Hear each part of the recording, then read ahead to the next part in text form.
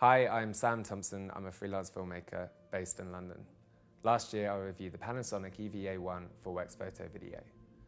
But these days, I find I use a lot of B cameras on my shoots, so I wanted to look at what B cameras will work best with the productions I go on. Whether I am filming an event, a two-camera interview, doing some time-lapse or hyperlapse photography, or even just grabbing some handheld shots when I don't have the luxury of time to set up a shot with my main camera. It's also fantastic to have a second camera operator using a gimbal alongside your shoulder mount or tripod setup.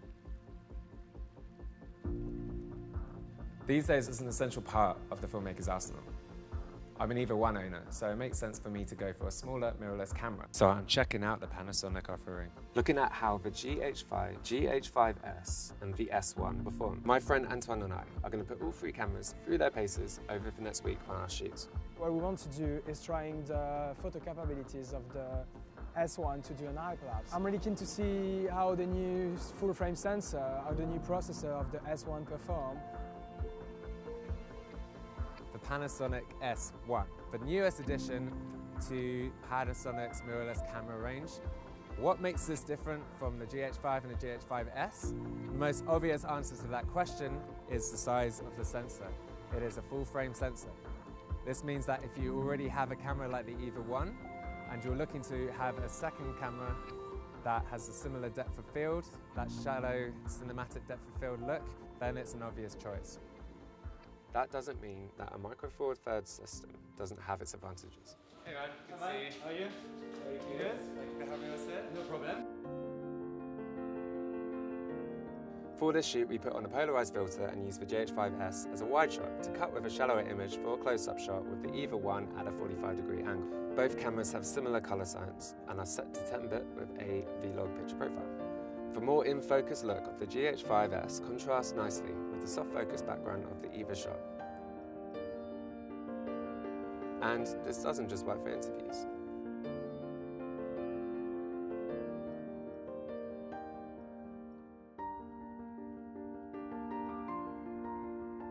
Whereas the S1 was handy to capture cinematic footage similar to my A camera, but with the advantage of convenience and being able to get up close to the subject.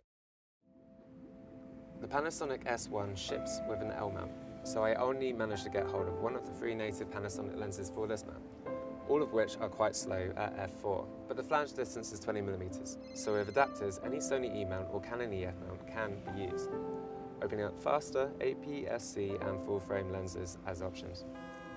It was also easier to achieve enhanced bokeh.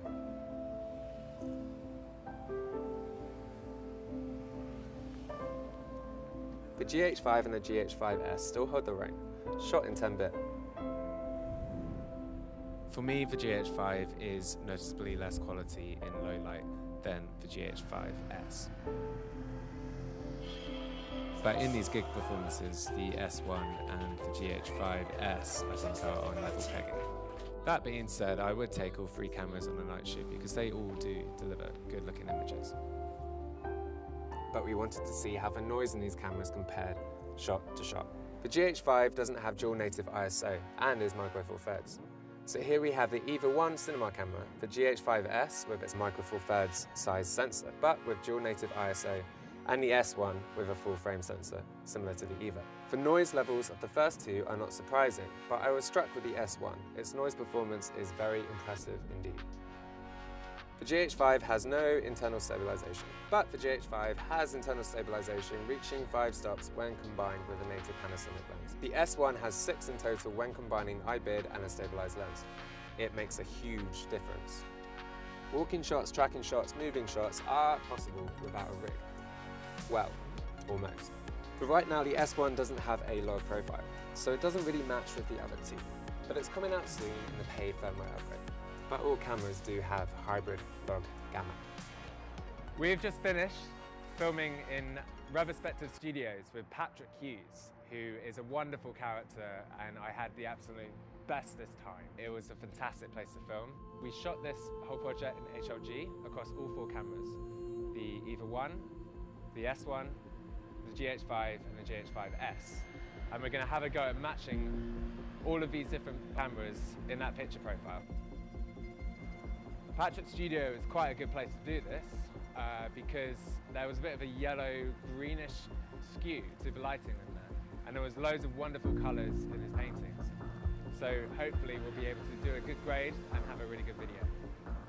So here we are in Premiere Pro uh, in the Lumetri color panel. Uh, Patrick is looking kind of green with a uh, weird hue to his skin tones. Um, that's the EVA 1 shot. This is the S1 shot. And as you can see, they look quite different. Um, I've got a GH5 shot here, which admittedly is a bit underexposed, but you can see that that also looks quite different to the GH5S. Now, the first thing you should do to uh, start your color correcting process is to apply a corrective LUTs. After much research on the internet, I found FilmConvert, a plugin that you can get for Premiere Pro, is one of the best tools to use. If you choose your source camera, the EVA one, and your picture profile, then uh, choose a film stock that looks nice and take the grain down to 0%. You can then start off your color correction and grading from a good place.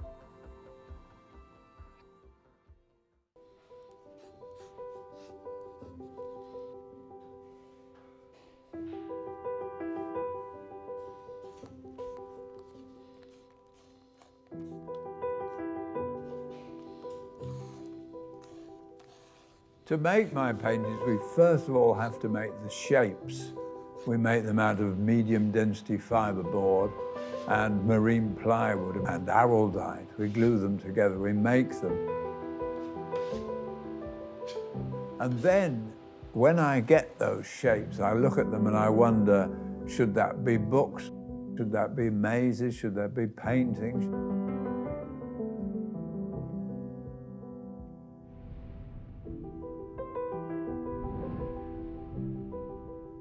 About 20 years ago, somebody said to me, could you decorate my new restaurant? It's going to have a Venice theme. And I said, no, it would take three or six months. And a week or two later, Photoshop became available to everybody.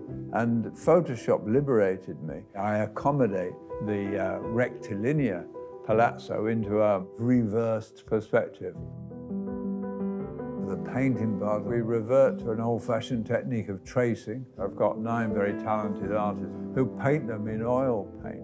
And we give them to the world, we exhibit them and let people make them move, making something that is odd in itself and that you experience its oddness and uh, daftness and, uh, in a very subtle way, humor. I've been an artist for about 60 years. And I've often done things back to front and inside out. If I did rainbows, I used to do black and white rainbows or straight rainbows. Reverspective as a way of uh, introducing something new to people.